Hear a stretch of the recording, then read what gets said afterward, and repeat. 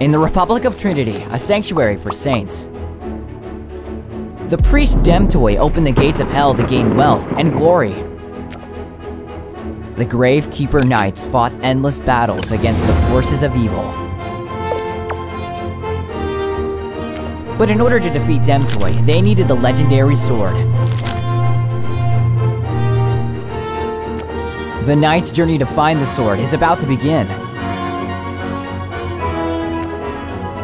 Shall we follow them on their journey? Easy and fast, endless growth RPG. Vahn's Quest.